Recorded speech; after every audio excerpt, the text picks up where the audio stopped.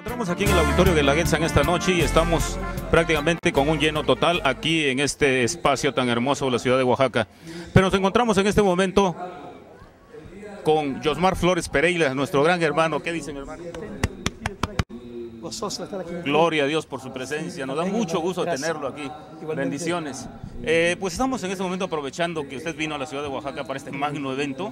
Sabemos que mucha gente vino hoy a este lugar esperando una gran bendición de parte de Dios.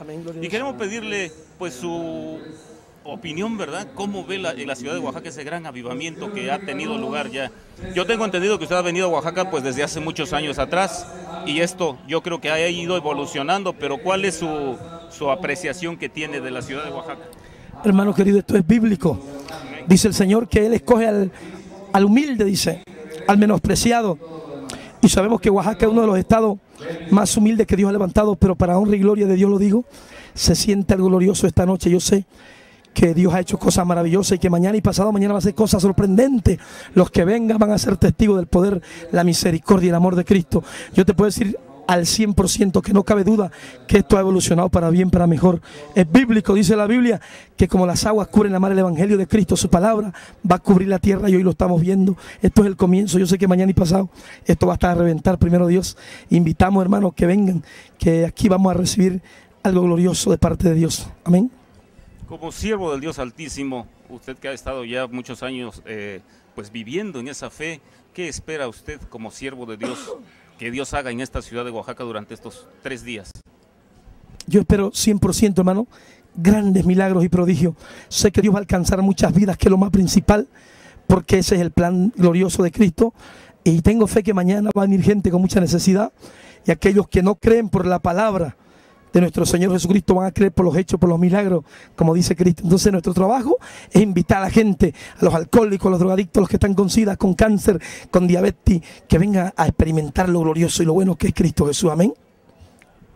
Muy bien, antes de despedirnos, de verdad quisiéramos preguntarle con toda sinceridad, ¿qué tiempo tiene usted de, haber conocido al Señor?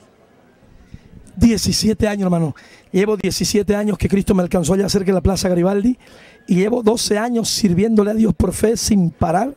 Hace 12 años que volví a México, después de Cristo me alcanzó, me fui para Bolivia y empecé a administrar la empresa de transporte de mi padre, una empresa que yo un día, borracho, drogado, la salté. Mañana va a escuchar parte de mi testimonio. Pero yo no entendí, hermano. Yo un día le dije a Cristo, si tú me cambias la vida, con mi vida te voy a servir. Si en mis planes estaba ser un empresario próspero como mi padre y pagar misioneros, siervos de Dios que vayan a Tepito, a, la Plaza Aragón, a la Plaza Garibaldi, a testificar a los teporochos, los drogaditos que Cristo vive y puede libertar al más vil perdido. Pero esa no era la voluntad de Dios. Yo le había dicho a Dios, si tú me cambias la vida con mi vida, te voy a servir. Y seis meses estuve en una silla de rueda, hermano. Y ahí entendí lo que dice su palabra fiel que él no es hombre para que mienta, ni hijo de hombre para que se arrepienta. Cuando él me levantó esa silla de rueda, vine y prediqué tres meses. Conocí a Yuri, la, la artista, la, la, jarocha. Conocí a su esposo, un gran amigo, Rodrigo, el chileno. Y me fui para Bolivia después de tres meses contento. Dije otro año y vuelvo otros tres meses. Pero en el aeropuerto me esperaba mi esposa amada que hoy me acompaña y mi madrecita, una mujer de fe, y me dijo, Dios dijo que te vas para México con tu esposa y no te vienes hasta que Él te traiga. Porque Él dijo que no va a quedar un rincón en esa nación sin que sepan lo que hizo Él contigo. Y lo puedo ver que Dios es fiel. Pues hemos andado por todas partes, hermano. Aquí salgo para, para Tabasco, de ahí para Cancún y de ahí vuelo para Durango. Vamos a estar 17 días. Y les pido a ustedes como hermanos, como pueblo de Dios, que oren siempre por los ministerios, que oren por los siervos que Dios está levantando, porque somos un pueblo en Cristo Jesús. Amén. Amén, gloria a Dios. Sabemos que en este momento mucha gente nos está viendo, personas que aún no conocen, no han recibido al Señor Jesucristo como su Señor y Salvador. ¿Qué mensaje le puede dar a estas personas en este momento para que ellas sabemos que este video, este material va a recorrer el mundo entero? ¿Qué, ¿Qué, mensaje le puede usted decir a esas personas? ¿Qué les puede eh, hacer una especie de invitación para que ellos abran su corazón y reciban al Señor? La razón más importante por la cual se predica el Evangelio, hermano, muy aparte de la sanidad que es importante, tu liberación, por decir, si vienes con un problema de alcoholismo, drogadicción, la fe en Cristo lo liberta, al alcohólico, al drogadicto lo sana, al paralítico, al que tiene sida, al que tiene cáncer. Pero hay algo más glorioso que Dios enfatizó y dice, busca primero el reino de Dios y su justicia. Porque tarde o temprano, con mucha riqueza, con salud o con pobreza, tenemos que morir. Está establecido por Dios. Dice la Escritura, Hebreo 9:27, que el hombre viva y muera una vez y después de muerto tendrá que comparecer ante el Tribunal Supremo de Jesucristo. Y ante él un día toda rodilla, toda se va a doblar y toda boca va a hablar que Cristo es el Hijo de Dios, el Rey de Reyes Señor de Señores. Y todo aquel que tenga su nombre, su nombre escrito en el libro de la vida será salvo. Dice la Biblia que se escuchó una voz que dijo, su nombre no está escrito y dijo, apartado de mí, hacedor de maldad, nunca te conocí. Ahí será el ay y el crujir de diente para siempre. Pero otros escucharon, bendito de mi Padre, en poco fuiste fiel, sobre mucho te pondré. Será el día más glorioso que un humano puede escuchar. Y esa es la esperanza que nos mantiene fuerte y predicando añoramos un día llegar a su presencia, donde no hay llanto ni tristeza, donde no hay enfermedades, igualdad social, donde la muerte no tiene potestad, donde Cristo con su gloria lo ilumina todo. Ese es el propósito principal y fundamental por el cual se predica el Evangelio, quiere decir buenas noticias para salvación de tu alma. Amén. Amén, gloria a Dios.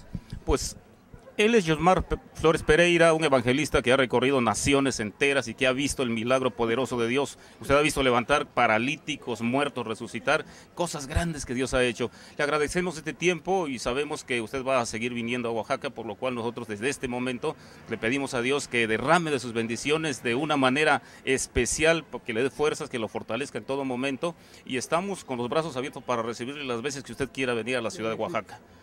Así es que finalmente quisiéramos decirle a todo el estado de Oaxaca que usted le diera una oración rápida, breve, porque sabemos que Dios se está moviendo poderosamente en esta ciudad. Amén, gloria a Dios. Mira, hermano, la palabra de Dios dice, y el que lo dice es Jesucristo, la gloria postrera será mayor que la primera. Cristo quiere decir que con sus últimos siervos, estos últimos tiempos, con sus siervos y siervas que levante, va a ser cosas más gloriosas, más grandes que las que hizo con los primitivos siervos, con Elías, con Moisés. Es verdad, como dijiste, no he visto todavía un muerto resucitar, pero ya estos tiempos es cuando vamos a orar por los muertos y van a resucitar. Dios dijo que la gloria postrera y Él no miente. Yo sé que si mañana trae un muerto, vamos a orar por Él y vamos a orar por los paralíticos, vamos a ver la gloria de Cristo. Amado hermano, quiero orar por todas estas personas que a través de este video o este programa pueden ver. Que Dios bendiga primeramente este video por el cual mucha gente va a saber que Cristo vive, que Cristo liberta, que Cristo sana y salva. Padre, gracias por esta oportunidad que me das después de haber predicado aquí para este video, Señor. Una vez más, Señor, tu gracia y tu unción, que a través de la pantalla, Padre, que a través del audio de este video puedan sentir tu presencia. Tu palabra es fiel, puedan sentir tu presencia. Y donde tú estás hay sanidad, hay liberación. Tu palabra dice que la presencia del Espíritu Santo de Dios rompe el yugo satánico que oprime al cautivo. Tu palabra dice que para esto fue que apareció Jesucristo, el Hijo de Dios, para deshacer la sobre Satanás. Una vez más, Padre, yo te pido que el pueblo de Dios, que el pueblo hermoso que tú has redimido con tu sangre, haga conciencia que no soy yo, que no es el hombre, que no es el evangelista. Tu palabra dice que es maldito el hombre que confía en el hombre. Qué bienaventurado, siete veces más feliz, el que en Dios confía, no será avergonzado. Que mañana vengan creyendo que es la fe de él, mi fe, la fe de ella, la fe del pastor. Ande, nos juntamos dos o tres y te pedimos en el nombre de Cristo, tú lo harás. Una vez más, Padre, gracias. Levanta este ministerio, levanta este medio de comunicación. Gracias, Padre, por Oaxaca. Te pido y te bendigo en el nombre glorioso de Jesucristo. Amén.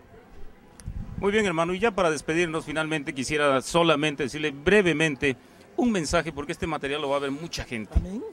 Un mensaje breve para aquel que no conoce nada absolutamente del Señor Jesús. Breve, así como... Pues que venga mañana, hermano, para que escuche. Es importante que él entienda. Dios dice en Oseas 4:6 que el hombre se pierde por falta de conocimiento. Pero Juan 8:32 también dice Dios, pero va a conocer la verdad y la verdad lo va a libertar. Y yo sé que la verdad es Jesucristo. Jesucristo es el que liberta, el que sana, el que salva. Yo le, invito a esas personas que no conocen de Dios, que antes de hablar cualquier opinión, que vengan a experimentar el poder, el amor y lo glorioso que es Jesucristo. Amén. Que Dios los bendiga mucho, hermano, y que lo siga usando en esta labor preciosa. Gracias, hermano. Que el Señor me lo bendiga.